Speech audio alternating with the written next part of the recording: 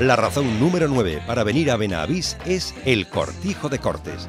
A esta finca no solo puedes venir a comer, sino también a disfrutar de espectáculos con caballos, flamenco y los más osados pueden tentar a la suerte toreando, porque en el Cortijo de Cortes está la única plaza de toros de Benavís. ¿Qué soléis ofrecer en el Cortijo de Cortes? Bueno, pues aquí en el Cortijo tenemos aquí el patio principal, que es donde se reciben a los clientes y damos aquí un aperitivo con una copa bienvenida. Una vez que termina el aperitivo, pasamos arriba a la plaza de toros y damos un espectáculo de caballos.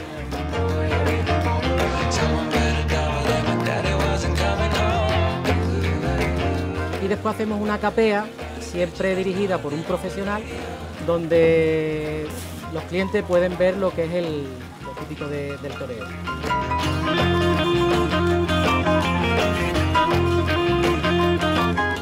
Vez que termina la capea y el espectáculo, pues pasamos al salón del cortijo, que es el salón principal grande, y ahí pues damos una cena y como final de cena, pues, como no, un espectáculo de, de flamenco, que es lo típico de aquí.